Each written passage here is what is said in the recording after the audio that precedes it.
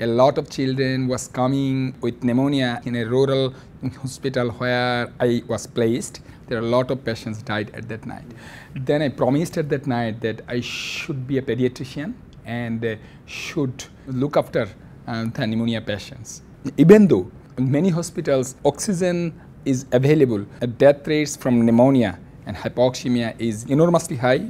What else could be done to save these lives? Bubble CPAP in the western countries uh, circuit is expensive compared to our um, developing countries. We used to give low flow oxygen by the nasal prong, which is a blind end too, and then we cut one end and connect it to a shampoo bottle. When a patient uh, takes oxygen, it goes to the shampoo bottle and it uh, produces the bubble and that bubble gives the back pressure to the lung of the patient and it creates the positive end expiratory pressure and we have found a significant reduction in treatment failure and deaths compared to WHO standard low flow oxygen. And WHO standard oxygen could not recruit uh, the lung volume which has been already lost, mm -hmm.